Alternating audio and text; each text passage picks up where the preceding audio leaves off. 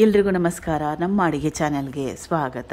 ಗರಿಗರಿಯಾಗಿ ಉಬ್ಬಿದ ಪೂರಿ, ಮತ್ತೆ ಅದರ ಜೊತೆಗೆ ಆಲೂಗಡ್ಡೆ ಮಸಾಲ. ಎರಡು ರೆಸಿಪಿಗಳನ್ನ ಅತ್ಯಂತ ಸುಲಭವಾಗಿರೋ ವಿಧಾನದಲ್ಲಿ ತೋರಿಸ್ಕೊಟ್ಟಿದ್ದೀನಿ. ಪ್ರಯತ್ನ ಮಾಡಿ ನೋಡಿ. ಮೊದಲ ಸ್ಟೆಪ್ ಅಲ್ಲಿ ಪೂರಿಗೋಸ್ಕರ ಹಿಟ್ಟನ್ನ ನಾದ್ಕೋಬೇಕು. ದೊಡ್ಡದಾಗಿರೋದು ಬಟ್ಲು ತಗೊಂಡಿದ್ದೀನಿ. ಕಾಲು ಕೆ ಜಿಯಷ್ಟು ಮೈದಾ ಹಿಟ್ಟು. ಮೈದಾ ಹಿಟ್ಟು ಇಷ್ಟ ಇಲ್ಲ ಅಂದರೆ ಇದಕ್ಕೆ ಬದಲಾಗಿ ಗೋಧಿ ಹಿಟ್ಟನ್ನು ಕೂಡ ಉಪಯೋಗ ಮಾಡ್ಬೋದು.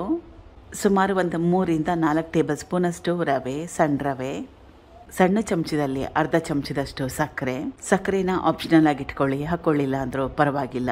ಹಾಕ್ಕೊಂಡ್ರೆ ಪೂರಿಗೆ ಒಂದು ಒಳ್ಳೆ ಬಣ್ಣ ಬರುತ್ತೆ. ಆಮೇಲೆ ಪೂರಿ, ಸಪ್ಪೆ ಕೂಡ ಇರಲ್ಲ.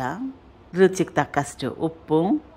ಈ ಪದಾರ್ಥಗಳನ್ನ ಹಾಕಿದ್ಮೇಲೆ ಚೆನ್ನಾಗಿ ಕಲಸ್ಕೊಂಡ್ಬಿಡ್ಬೇಕು. ಸೊ, ಸ್ವಲ್ಪ ನೀರನ್ನ ಹಾಕ್ಕೊಳ್ತಾ ಹಿಟ್ಟನ್ನ ನಾದ್ಕೋಬೇಕು. ಚಪಾತಿ ಹಿಟ್ಟದಲ್ಲಿ ನಾದ್ಕೋಬೇಕು. ಅಥವಾ ಅದಕ್ಕಿಂತಲೂ ಸ್ವಲ್ಪ ಗಟ್ಟಿ ನಾದ್ಕೊಂಡ್ರು ಪರವಾಗಿಲ್ಲ.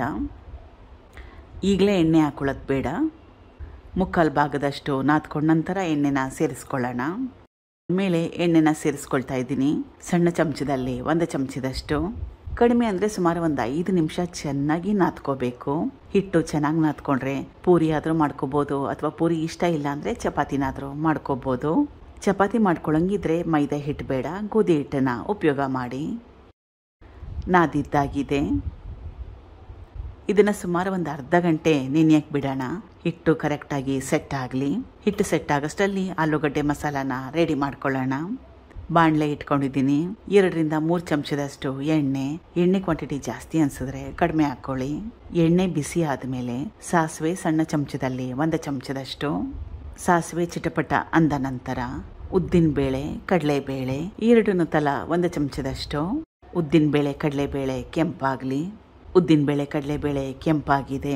ಇದು ಉದ್ದುದ್ದ ಕಟ್ ಮಾಡಿ ಇಟ್ಕೊಂಡಿರ ಎರಡು ದೊಡ್ಡ ಈರುಳ್ಳಿ. ಈರುಳ್ಳಿನ ಉದ್ದುದ್ದನೇ ಕಟ್ ಮಾಡ್ಕೊಳ್ಳಿ, ಚೆನ್ನಾಗಿರುತ್ತೆ ನೋಡಲಿಕ್ಕೆ. ಕರಿಬೇವಿನ ಎಲೆಗಳು, ಹಸಿರು ಮೆಣಸಿನಕಾಯಿ, ಸುಮಾರು ಒಂದು ಮೂರಿಂದ ನಾಲ್ಕಷ್ಟು.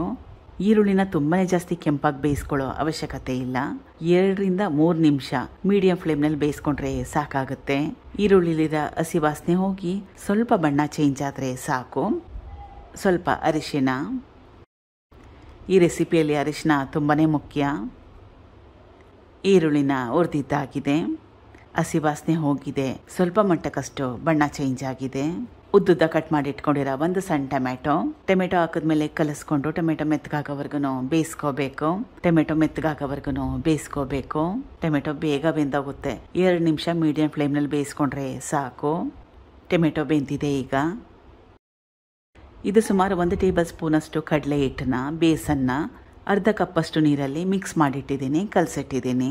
ಇದನ್ನು ಹಾಕೊಳ್ಳೋದ್ರಿಂದ ಗ್ರೇವಿ ಗಟ್ಟಿ ಬರುತ್ತೆ ಕ್ವಾಂಟಿಟಿ ಜಾಸ್ತಿ ಆಗುತ್ತೆ.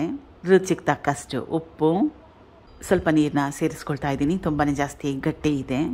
ಇದನ್ನು ಹಾಕೊಳ್ಳೋದ್ರಿಂದ ಗ್ರೇವಿ ಗಟ್ಟಿ ಬರುತ್ತೆ ಕ್ವಾಂಟಿಟಿ ಜಾಸ್ತಿ ಆಗುತ್ತೆ. ಕಡಲೆ ಹಿಟ್ಟು ನೀರು ಹಾಕೊಂಡ್ಮೇಲೆ ಚೆನ್ನಾಗಿ ಕುದಿಸ್ಕೋಬೇಕು. ಈಗ ಚೆನ್ನಾಗಿ ಕುದೀತಾ ಇದೆ. ಇದು ಬೇಯಿಸಿಟ್ಕೊಂಡಿರೋ ಆಲೂಗಡ್ಡೆ. ಸುಮಾರು ಒಂದು ಐದು ಮೀಡಿಯಂ ಸೈಜ್ ಆಲೂಗಡ್ಡೆನ ಉಪಯೋಗ ಮಾಡಿದ್ದೆ.